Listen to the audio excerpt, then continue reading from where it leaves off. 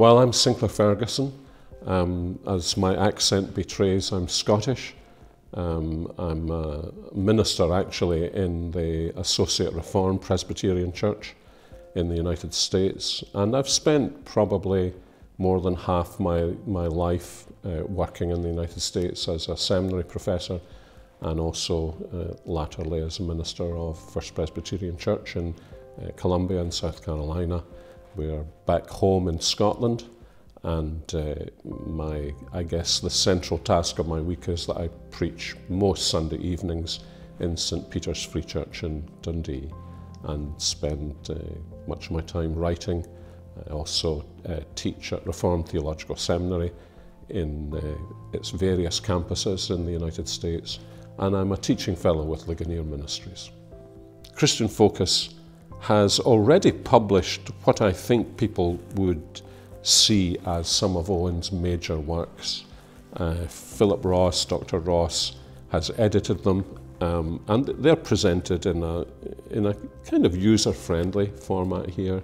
So any of these seven volumes would, would be a, a good place to start. But perhaps particularly uh, because it looks as though it's the shortest, and it is the shortest, uh, is this book on the glory of Christ, um, which is a marvellous exposition of who Christ is and what Christ has done. And um, there's a great story in connection with this because uh, when Owen was dying, a minister friend who, was, who had taken charge of seeing the book through the press came to tell him that it was already being printed. And in the last day of his life, he said, you know, he was pleased to hear that, but uh, he knew he was going to see the glory of Christ in a way that he had never been able to describe it, which is a great way of saying that he didn't just write about it, he really looked for it and uh, believed he was about to see it. So this is really a great place to start for someone who has never read any John Owen before. Often people tell you to begin with the mortification of sin. It's shorter than this, but it's not really his best book. It, it actually is a great book, but it's not his best book. It tends to have a focus on ourselves and our struggle with sin and I think sometimes people read it divorced from what he has to say about Christ. And that's not really a healthy thing to do. So that's a great place to begin. My favourite one actually is um, on communion with God.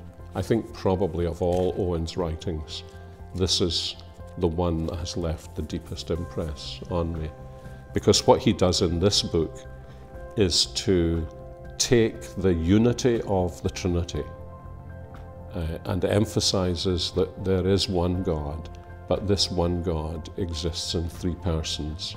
And that in all that God does, uh, God acts as one God, but in everything he does, one or other person of the Trinity will, as it were, take the lead. So the Father takes the lead in creation. The Spirit takes the lead in applying the purposes of the Father and the Son takes the lead in winning us salvation. And uh, if you think about it this way, that means you can never say, Heavenly Father, thank you for dying for me on the cross. But you can say that to the Son.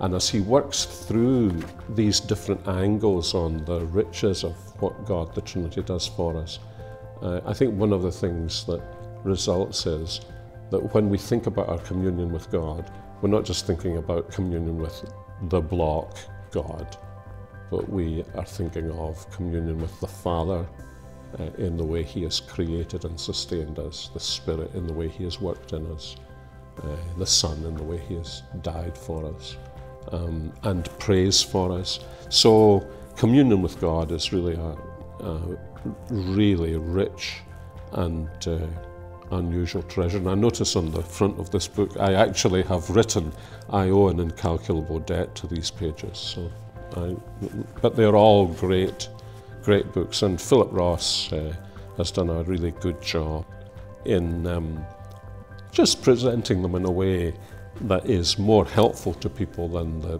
the, the great 19th century edition of his works. Um, so that's John Owen.